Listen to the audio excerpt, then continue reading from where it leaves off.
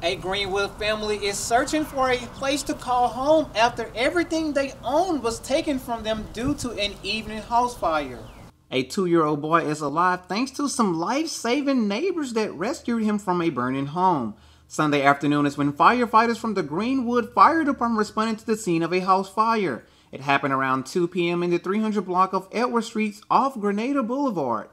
As the house was fully engulfed into flames, the grandmother was the only person able to make it out safely. As the grandmother was standing outside of his home screaming for help, neighbors could hear her heart-wrenching voice stating that her grandchild was trapped inside.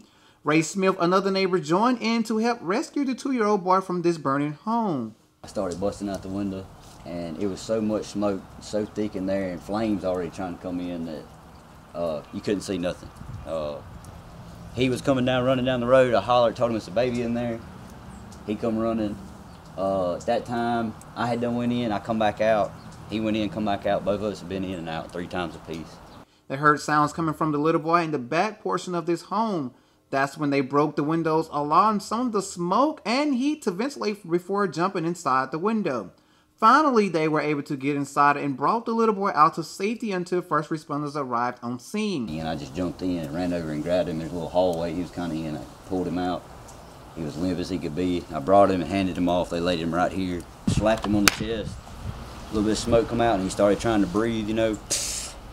Uh, it wasn't nearly enough.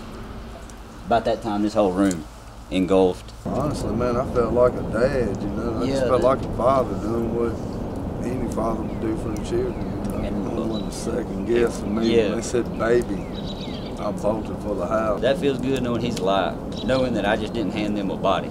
Authorities tells me that this bag is the only item that was saved from this fire. At this time, this fire remains under investigation. Timmy Lane, Delta News.